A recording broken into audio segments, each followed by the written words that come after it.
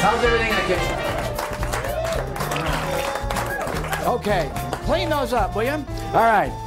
Uh, we have yet the third bartender on the team here. Uh, Chris Brockman is our, our bartender tonight. Let's give Chris a big round of applause here. Yes. All right.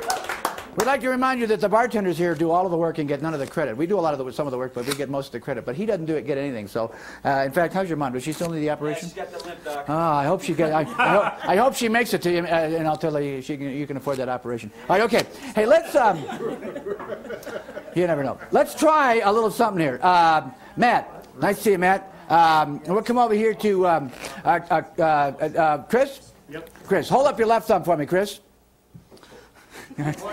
kind of a motor skill. It's kind of a test here. I don't know. Is it uh, uh, right or left? I don't remember which. All right. I'm going to hold the cards like so. What I'd like you to do, Chris, is with that thumb, not down here, not up here, right along the corner here. I'd like you to push back and peek at a card. Do You get the idea? All right. Now don't go bawanga and bend the hell out of the cards. Okay. A simple. All is necessary. You get the idea? Um, you don't have to whistle. I can't do it either. It's too late in the season. All right. Okay. I'm not going to look though. Go ahead. Take a look.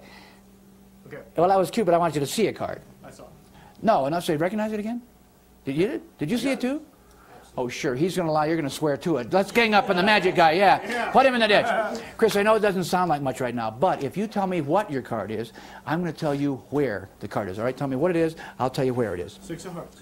Seriously? That's the one you saw too? I can't believe it. That must be the one under the drink. Suppose that's the one under my drink? Oh! Oh! Oh! Oh, yeah! Yeah! Oh!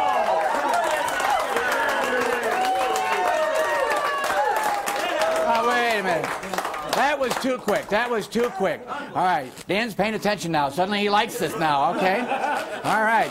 All right, okay. We'll see if we can make this work. All right.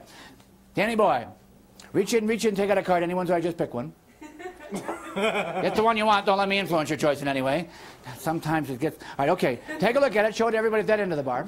You got it? I'm not going to look. I've seen the trick before. Once or twice. All right. Chris, do me a favor. Extend your right hand, if you would, sir, palm up.